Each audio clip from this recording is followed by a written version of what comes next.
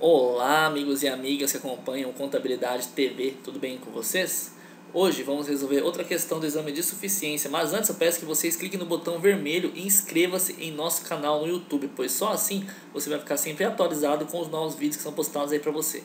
Curta a nossa página no Facebook, facebook.com.br e siga no Instagram, arroba contabilidade. Bom, vamos ao que interessa, que é resolver a questão número 41, que caiu no segundo exame de suficiência de 2016 para bacharel. Vamos lá. Questão 41. De acordo com a resolução do CFC número 750 de 93, princípios de contabilidade, assinale a alternativa correta. A letra A diz o seguinte: o princípio da competência determina que as receitas e as despesas devem ser incluídas na apuração do resultado do período em que efetivamente ocorrerem os recebimentos ou pagamentos respectivos, de acordo com o regime de caixa, sendo lançadas as despesas mediante o pagamento dos gastos e a receita mediante o recebimento de entradas em caixa. B. O princípio da continuidade pressupõe que a entidade deverá existir durante o prazo em que o ativo for superior ao passivo e terá seu patrimônio contabilizado a custo corrente. C. O princípio da oportunidade refere-se ao processo de mensuração e apresentação dos componentes patrimoniais para produzir informações íntegras e tempestivas. A falta de integridade e tempestividade na produção e na divulgação da informação contábil pode ocasionar a perda de sua relevância. Por isso é necessário ponderar a relação entre a oportunidade e a confiabilidade da informação.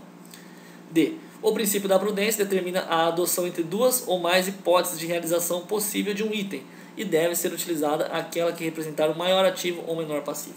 Peço que pausem o vídeo, tentem responder, daqui a pouco estou de volta, vamos resolver ela aí juntos. E aí, pessoal, pausaram o vídeo, tentaram responder, como é que foi? Tava fácil, tava difícil? Bom, para facilitar a resolução do exercício, coloquei do lado esquerdo o enunciado e do lado direito a resolução.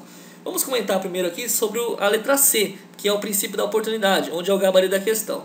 O princípio da oportunidade refere-se ao processo de mensuração e apresentação dos componentes patrimoniais para produzir informações íntegras e tempestivas.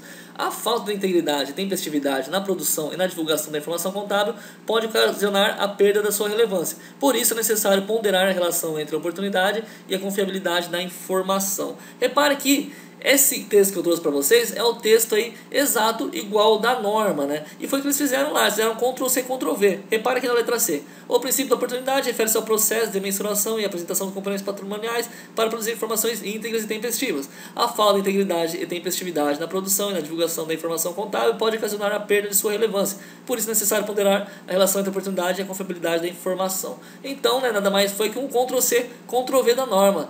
Sendo assim, dentro, de acordo com a resolução do CFC número 793, que fala sobre o princípio da contabilidade, a única que estava certa era que se referia ao princípio da oportunidade. Gabarito letra C, de Corinthians, de contadoras lindas do meu Brasil. Né? Vamos analisar o erro da letra A. A letra A fala o seguinte: o princípio da competência determina que as receitas e as despesas devem ser incluídas na apuração do resultado do período em que efetivamente ocorreram os recebimentos ou pagamentos respectivos de acordo com o regime de caixa. Não, não, não, não, não. O princípio da competência segue aí o regime da competência, não o regime de caixa, né? Então tá errado aqui a letra A por causa disso. B.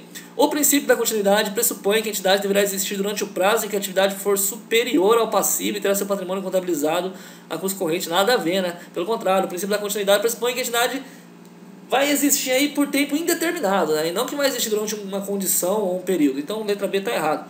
Letra D, de dado. O princípio da prudência determina a adoção entre duas ou mais hipóteses de realização possível de um item e deve ser utilizada aquela que representar o maior ativo ou menor passivo. Não, não, minha gente, não, pelo contrário. É, prudência é considerar o maior passivo e o menor ativo. Então, é, letra D está errado aí também.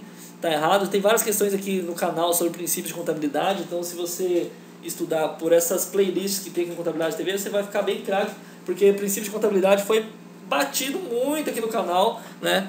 Eu vou deixar para vocês o link aí para vocês poderem estudar princípios da contabilidade e vai ficar fácil para vocês acertar esse tipo de questão. Belezinha? Qualquer dúvida, mande e-mail para contabilidade.tv@hotmail.com. Solicite as apostilas de contabilidade também pelo e-mail, de lá você recebe um catálogo com elas e forma de pagamento para você poder estudar e continue acompanhando o canal aqui, pois muitas questões ainda serão resolvidas para você gratuita. E é isso aí, gente. Deus abençoe sua vida, pois Deus não somos ninguém. Fui. Até o próximo vídeo. Clique no botão inscreva-se no canal, clique no gostei e vamos juntos melhorar o nosso conhecimento na contabilidade. Valeu, fui!